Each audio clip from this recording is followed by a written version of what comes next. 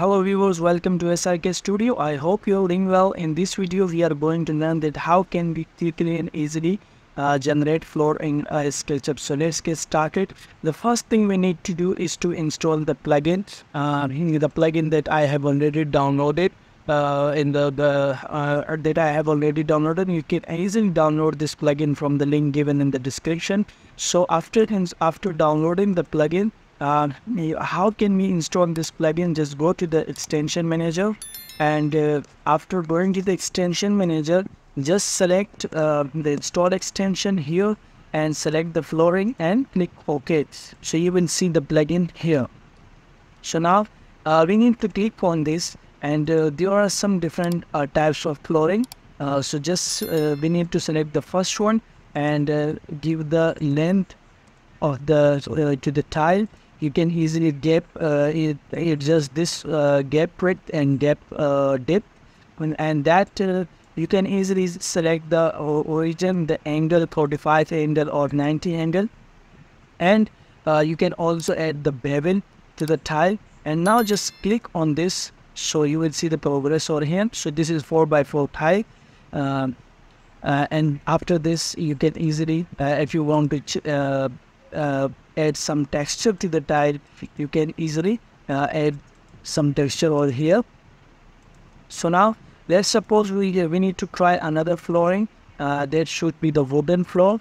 And dim the and the length should be let's suppose 60 inches and this one should be 12 inches. And let's suppose select this one. So we'll see the progress over here in the percentage so it will take some time a uh, few seconds. After that you will see the flooring here. So as you can see the flooring is here the wooden flooring uh, with the grooves with the gap so let's let's try another flooring that should be uh, uh, let's suppose hexagon. And let's suppose increase this one. And let's everything here and suppose for the 45 angle and just click here you will see the progress here.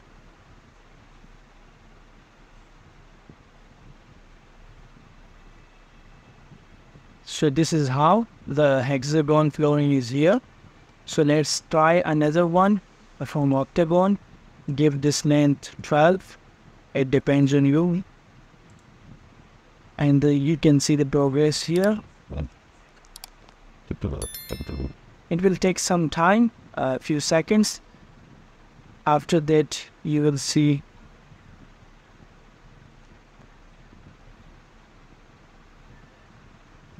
the flooring.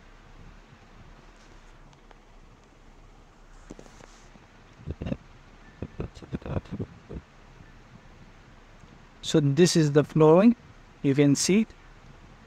So it depends on you which type of flooring you want to uh, use.